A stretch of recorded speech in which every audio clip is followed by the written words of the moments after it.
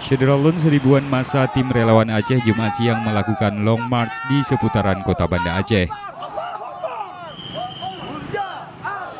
Sebelumnya mereka hadir dalam mediasi antara Yayasan Advokasi Rakyat Aceh dengan peneken MOU terkait pembentukan Komisi Klaim Pasca MOU di Pengadilan Negeri Banda Aceh. Masa juga membawa spanduk yang meminta penangkapan aktor tragedi di Lawung beberapa waktu lalu.